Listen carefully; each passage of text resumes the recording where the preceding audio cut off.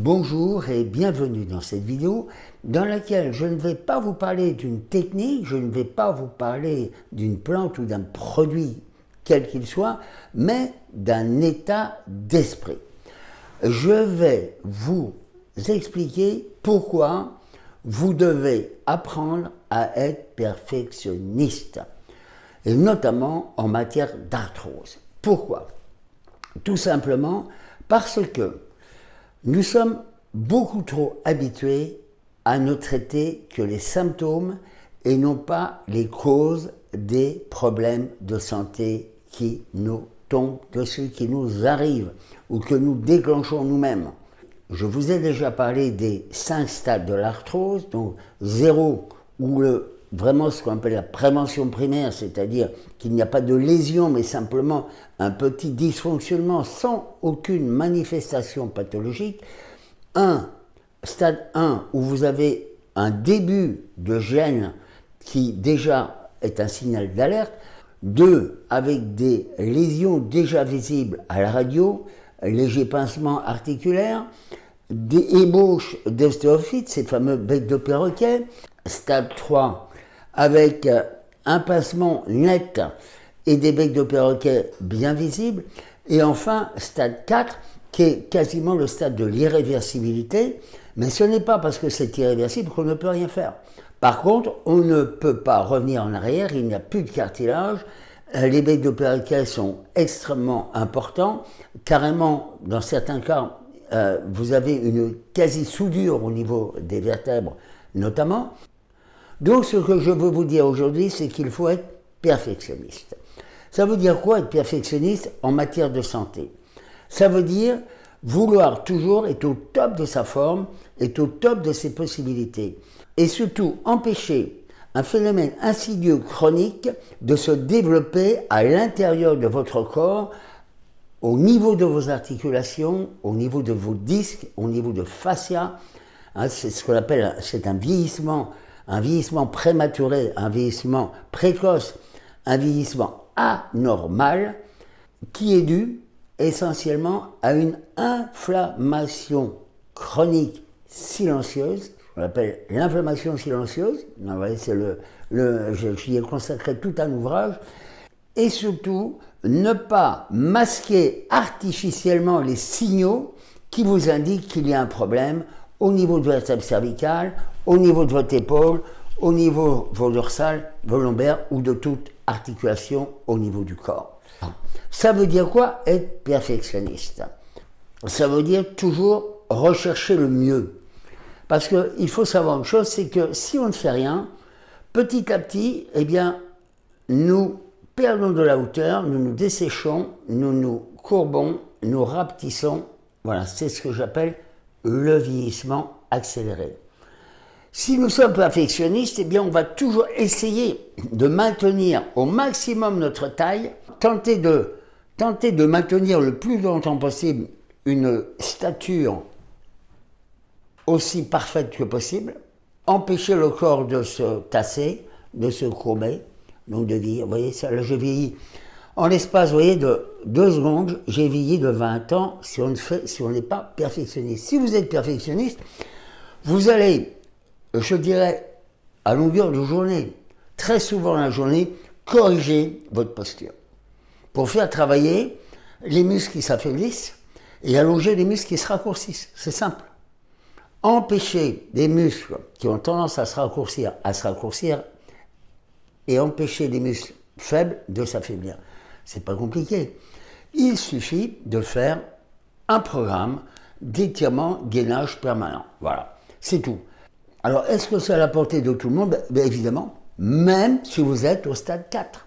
Si vous êtes au stade 4, il faut empêcher les lésions d'évoluer encore plus, ce qui est toujours possible. Pourquoi cette vidéo? Ben, Tout simplement parce que ce matin, j'ai vu une patiente qui, il y a quelques mois, a fait une, a trébuché. Elle n'est même pas tombée, elle a trébuché. Elle a mis la main au sol pour euh, s'empêcher de tomber. Elle a senti une douleur à l'épaule.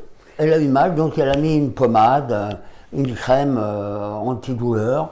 Et comme elle avait un peu mal, elle a pris également des antidouleurs. Et ça s'est bien passé.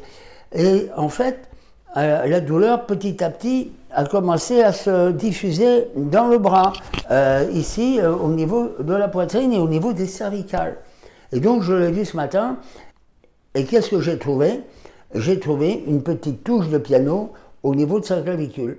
Une touche de piano de quoi Même pas un demi-millimètre.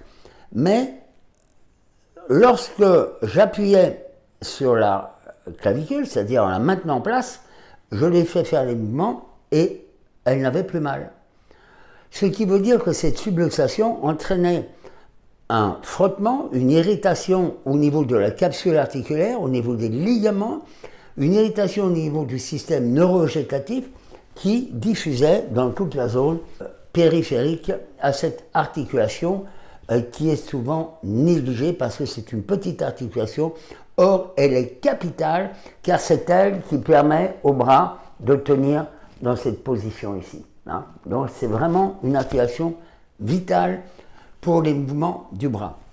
Donc qu'est-ce que j'ai fait? Ben, Je lui ai replacé en bonne position et ensuite, eh bien, je lui ai mis des aimants parce qu'elle avait un problème également de douleur au niveau du muscle sous-épineux, au niveau de l'attache du tendon, mais aussi également au niveau du corps musculaire. Donc elle s'était fait une élongation et depuis, ça n'avait jamais guéri en fait. Et donc voilà ce que j'ai fait. Je lui ai fait ce qu'on appelle un tapping.